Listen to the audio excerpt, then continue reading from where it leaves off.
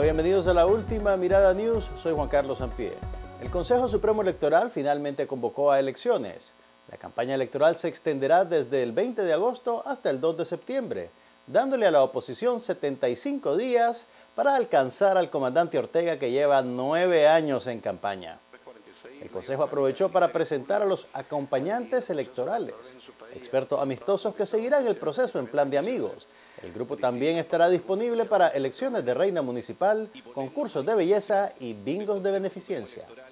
Según el calendario electoral publicado en la Gaceta, los partidos tienen de plazo hasta el 12 de agosto para inscribir a sus candidatos a vicepresidente. Hasta esa fecha se dilucidará el misterio sobre quién será el candidato a vicepresidente del FSLN. Ya saben, el hombre o la mujer que estará a un infarto de la presidencia. Incidentalmente, el 12 de agosto es la fecha de estreno de Juego de Tronos, edición Nicaragua. Ahora tenemos que ver el reporte del tiempo con la compañera Rosario. Altas presiones sobre nuestro territorio, ha dejado de llover. Vamos a tener calor, 35 en el Pacífico y Central, 34 en Managua, 33 en el norte, 32 en el Caribe. Celebrando a San Isidro Labrador, que pone el agua, quita el sol.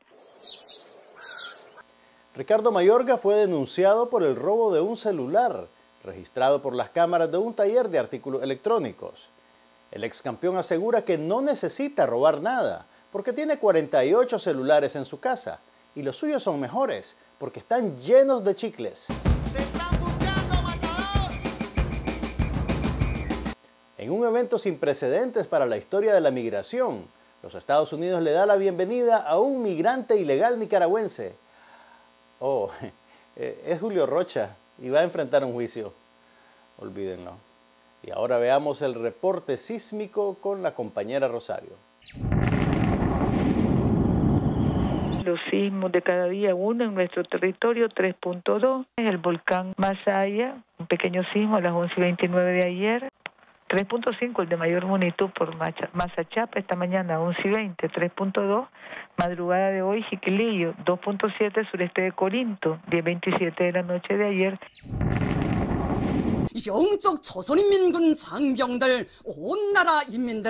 En Corea del Norte, Kim Jong-un encabezó el Congreso del Partido de los Trabajadores. El evento es una convención cuidadosamente coreografiada en la cual todos aclaman al amado líder para que se quede mandando a perpetuidad. Fuentes extraoficiales aseguran que Kim se apresuró a montarlo antes del Congreso del FSLN el próximo miércoles, para que no lo acusaran de imitador. Carnaval Alegría por la Vida 2016 se tomó el viejo centro de Managua. La comparsa más aplaudida fue una dedicada a nuestros mitos y leyendas, que incluía criaturas mitológicas como la alcaldesa de Managua. Orgullo de mi país, pero también mirar a toda la juventud encendida, con alegría, con entusiasmo.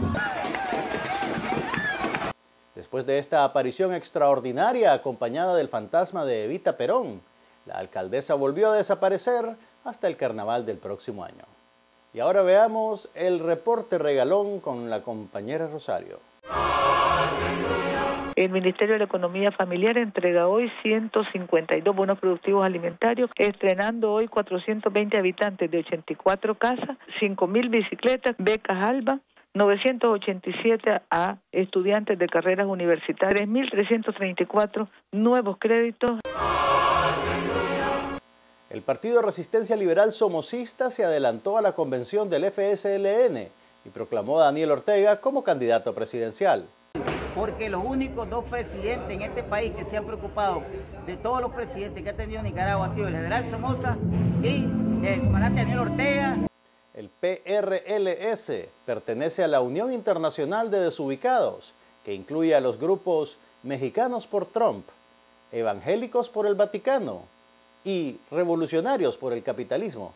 Ah, no, eso están bien ubicados. Y ahora veamos el reporte fúnebre con la compañera Rosario.